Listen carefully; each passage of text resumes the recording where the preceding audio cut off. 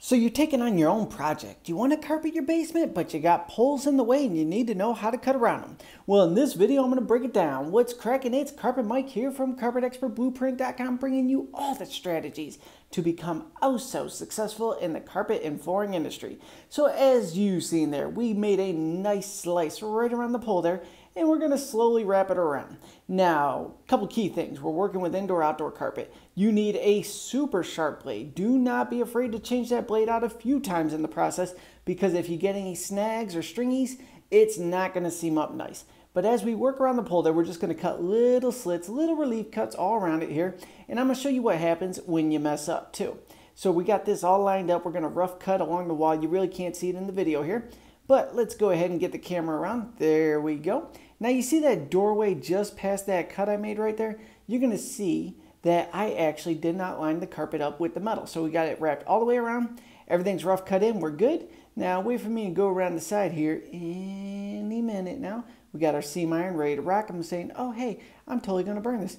Oh no, the carpet edge is an inch short from the metal. So now we got to go ahead and we're to lift that up. We're to tap it over a little bit, pick up that inch. We're going to reach down there. Are we making it?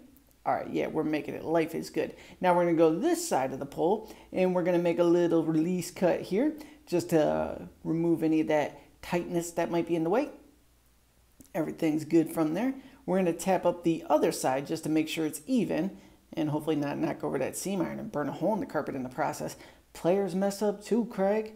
All right, we're good to go now. Let's go ahead and get some seam tape under here and get this puppy put back together. So Everything's lined up. Life is good. We used a super sharp blade, which is the whole key thing in this video. Sharp blade. Don't cut yourself.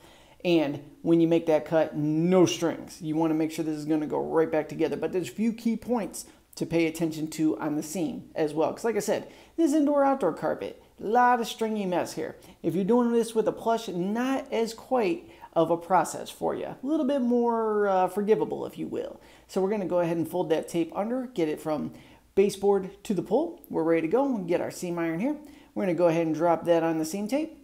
We're going to let it cook for a good 10-ish seconds, but you're to check out my swoop technique when I put this together. This is how you avoid having to use a seam sealer on these little seams. You just go ahead and use the seam from the seam tape to actually seal the seam. Watch this here. So we're to go ahead and pinch the back there so the iron doesn't pull the tape with it. We're to move it forward and get ready for this. We're to go ahead and drop the one side down. And then we're to create a small swoop effect. So it just picks up the slightest bit of glue and puts it on the edge of the carpet. Now this is a technique for sure because if you overdo it, glue oozes through and you have a rock solid seam. So just a little bit of finesse there to make things happen. We're to move that forward make sure everything behind it is put together. Another thing to think about, if you see any fuzzies popping through, just take the edge of your blade and tuck them down into that seam there. Don't try and pull them or anything. You want them to go ahead and seal into the seam so everything cures properly and you're good to go. You seen that swoop technique get there? I know you've seen that. Life is good. We're going to blend it in with our fingers because it's a phenomenal tool just use your fingers. And then any of the little loops, we're just going to tuck those into the glue there and biggity bam, you are a professional carpet installer.